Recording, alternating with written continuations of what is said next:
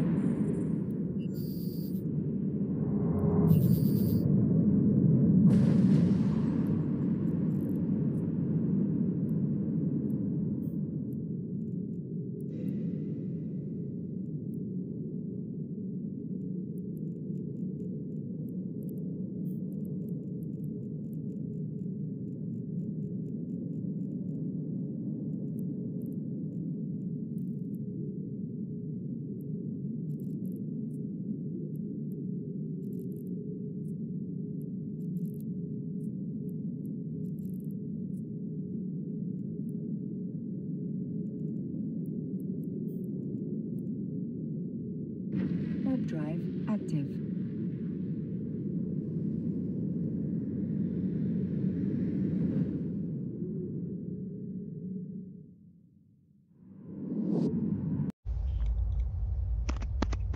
Toma número 3, acción. Hola amigos, bienvenidos.